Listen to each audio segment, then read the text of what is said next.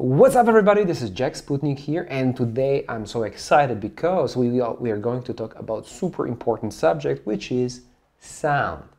Maybe it doesn't sound that fascinating but today I want to give you an answer how to record sound that not only sounds great but also doesn't cost you a lot and is very like easy to use in any circumstances. So if you want to record like in a studio like I do right now, or if you want to record outside, do some vlogging style, or you know, you do travel videos, etc., we want to test three different types of microphone.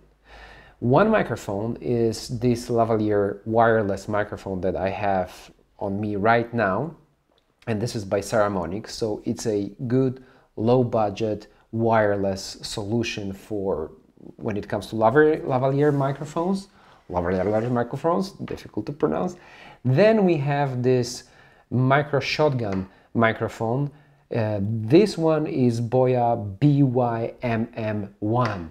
I really don't know why they have to make it so complicated, but this Boya, this fluffy, you know, that cat something, um, is in fact a small uh, very difficult to get rid of it, is a small shotgun microphone. One of the you know key features of it is that it doesn't need any battery, but we want to test it. How does it perform in real life? So how does it perform in the studio? My studio doesn't have a lot of sound treatment, so it's it's it's pretty fair test. And then we will see how this tank perform in the field when vlogging. And finally, we have something great. I've been sent this microphone by Comica. It's a new microphone, so probably not a lot of you guys have, have seen it or not a lot of you guys have tested it. So this is a shotgun microphone that uh, is charged with USB-C and this is omnidirectional microphone uh, it's supposed to be um, it's supposed to be competing with uh, Rode NTG Plus, or I would say it could uh, compete with Deity microphones, if this is how you pronounce it, because of the design, you know, of the construction here. You have this knob to increase and decrease volume. So those are three microphones that we will compare today and see which is the best choice possible. But of course, as always, I see you guys after intro.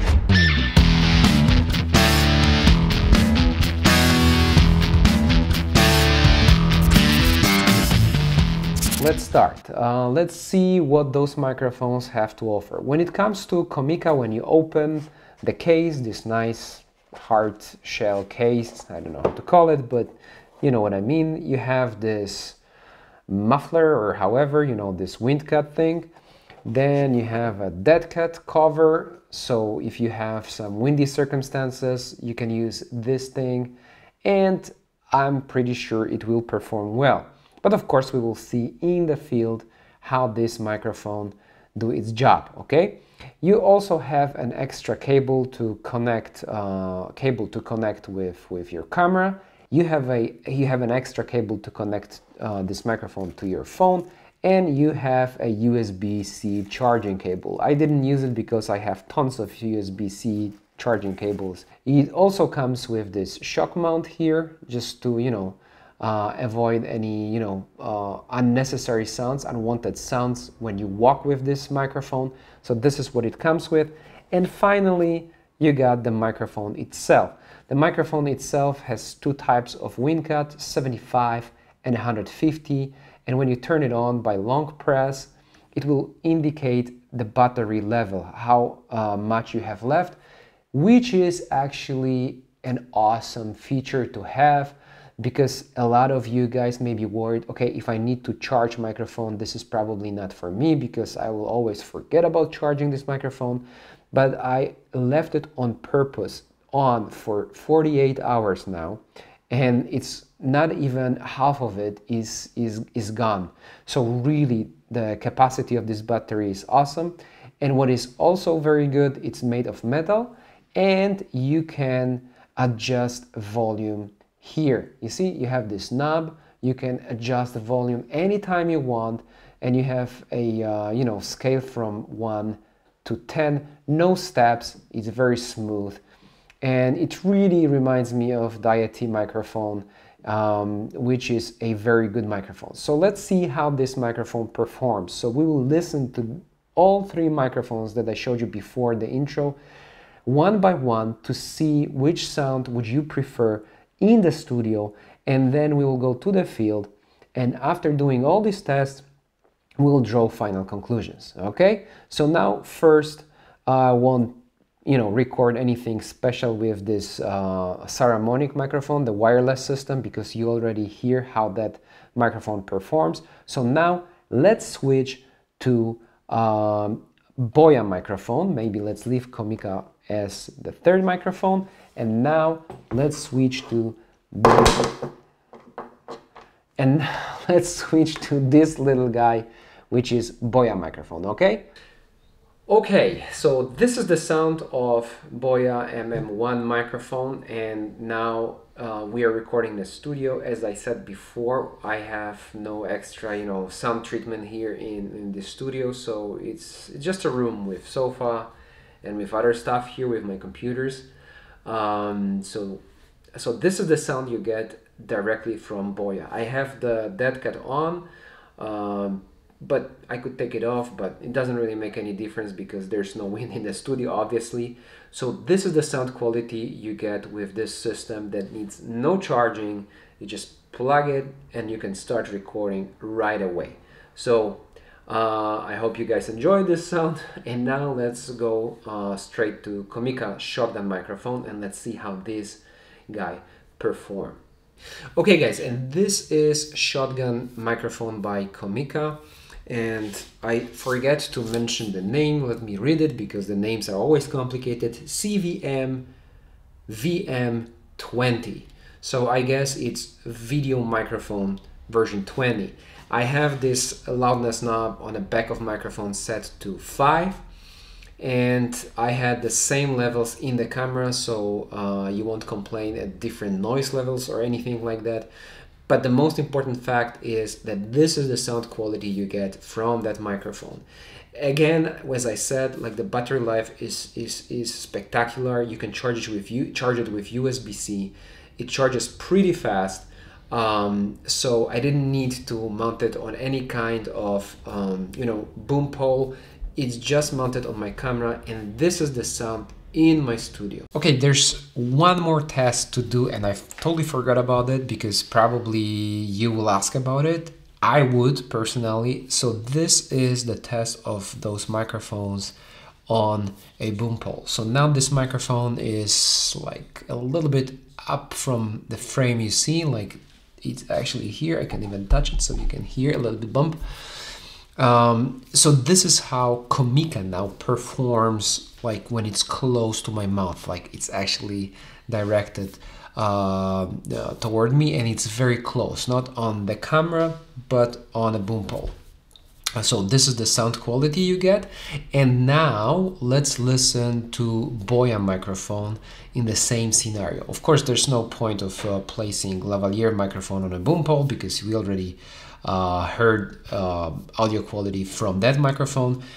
But now let's listen to Boya micro shotgun microphone, okay? Okay, and this, ladies and gentlemen, is Boya microphone BYMM1 on a boom pole. So it's just right here, only little tiny bit above the frame.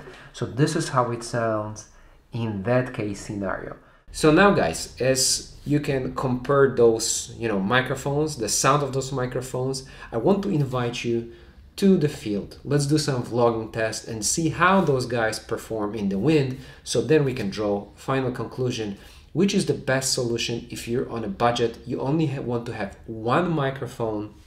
You don't want to spend a lot of money. You don't want to use extra recorders like zoom recorders and and basically be ready to record anytime okay so come with me. We'll go to city center of the town i'm living in which is faro in southern portugal.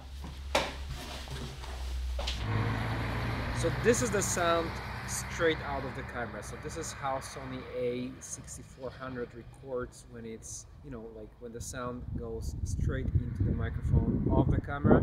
And this is not, you know, uh, the main theme of this of this uh, comparison, microphone comparisons. But I just want to give you the idea how beneficial it is actually to use any kind of microphone. Okay, so now I'm recording with Comica shotgun microphone and uh, level are pretty standardized, so I try to keep the levels of the recording uh, pretty even uh, through all the recordings like Comica, Boya and the Lavalier by uh, Saramonic. So this is what you can get from um, Comica microphone. It's a pretty windy day, so it's good because I have you know this dead cat on it. Uh, if the wind gets really strong, you're pretty, you can uh, stick only to blimp. But in this case, um, this is the sound you get from this microphone. It's just a short comparison. One more test with Comica shotgun microphone. Now we have wind cut set to 75 and I'm very happy because wind is blowing so you can see if it really works, if it can really help you when you want to record out there in the field like vlogging or doing travel videos or whatever you are up for. But this is how 75 works like. And now let me switch to 150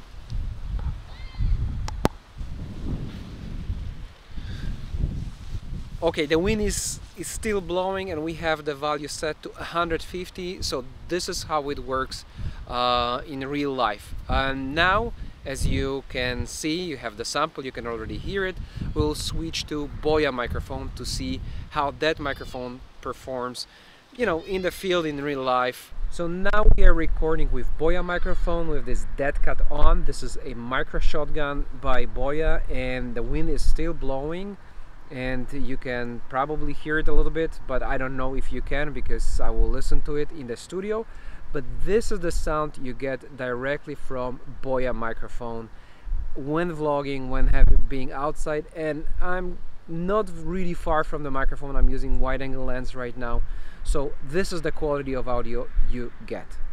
Okay, so the wind is blowing and now I'm using the wireless system, wireless lavalier system from Saramonic and this is the audio quality you get. So this is this is actually how it performs in the field in real life.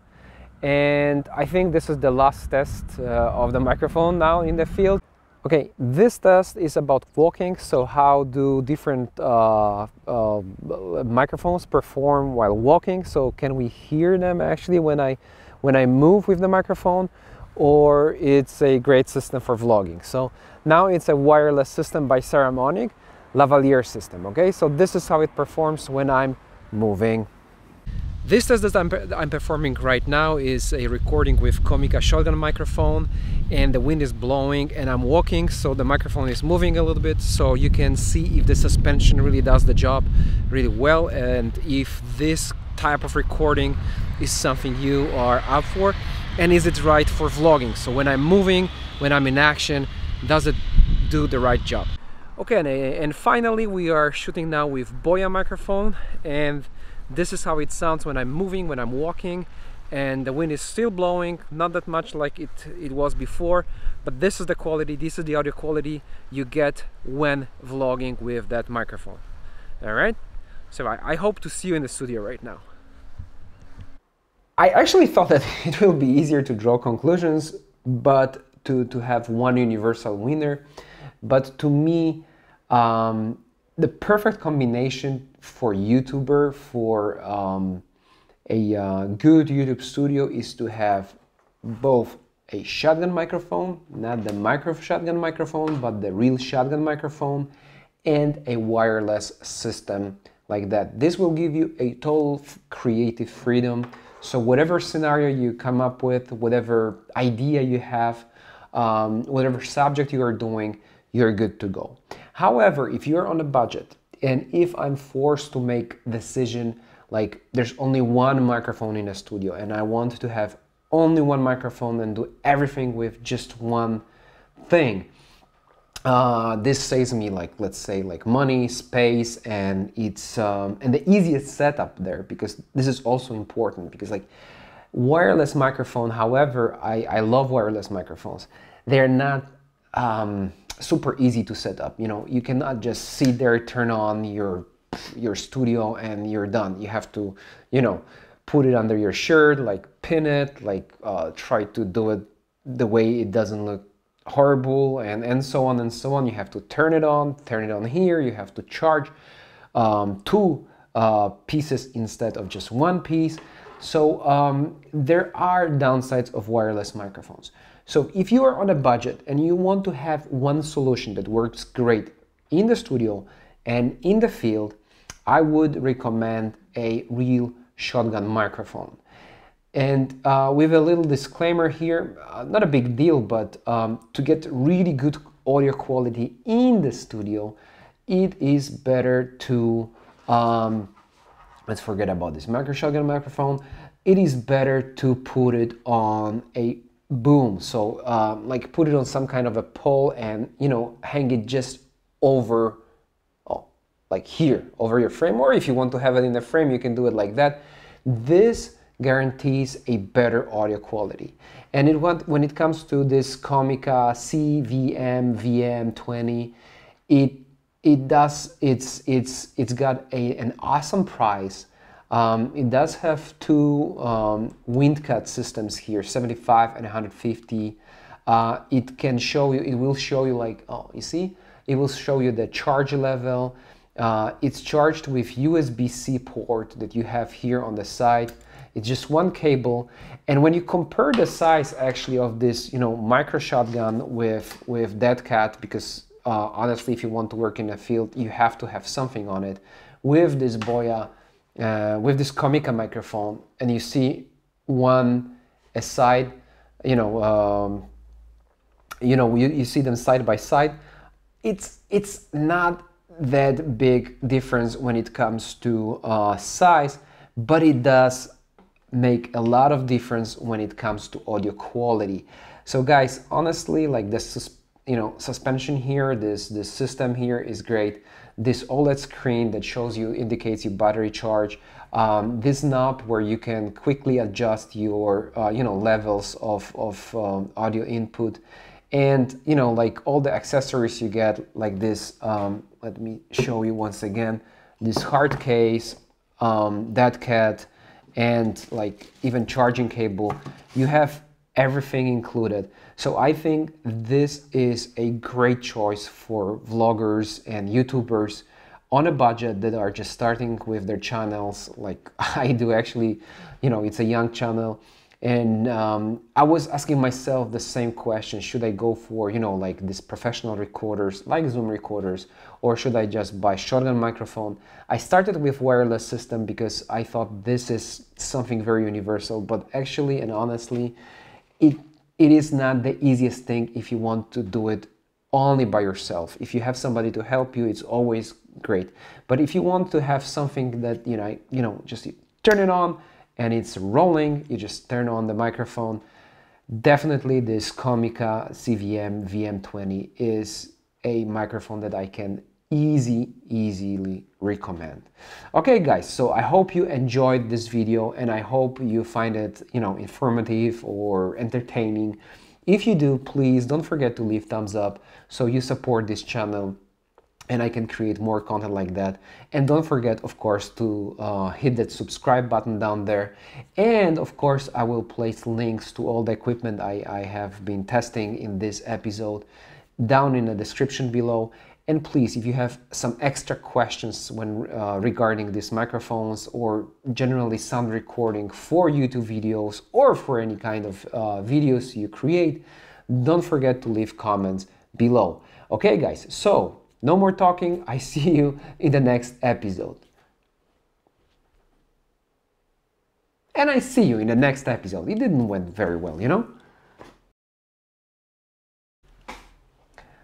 yeah, it kind of looks good, you know, and um, it feels good. Oh, and if it smells good, it doesn't smell too Chinese, actually, you know. Oof. Oh, maybe it does. I don't know. A little bit of plastic, fantastic. No, but this is metal. Hmm? Yeah. Freeze.